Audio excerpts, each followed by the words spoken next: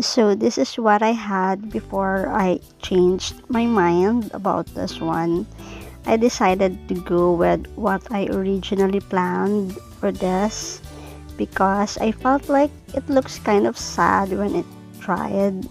So I decided to add a few more petals and made them a little bigger than the previous one. So as you can see, I added another layer on top of what I did previously.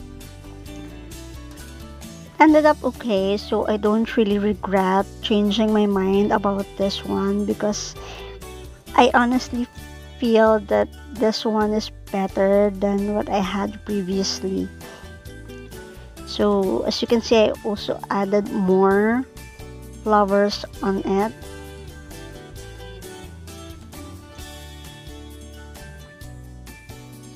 there.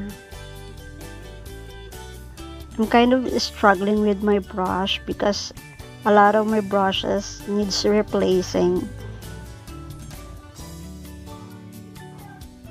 So there I added uh, a neon yellow orange for the middle part to make it look brighter.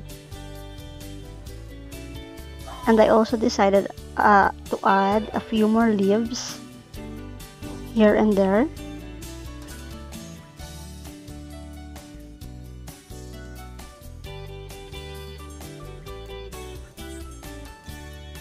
So this is how it looks now. Don't you think it looks better, right? That's it for now. Follow for more.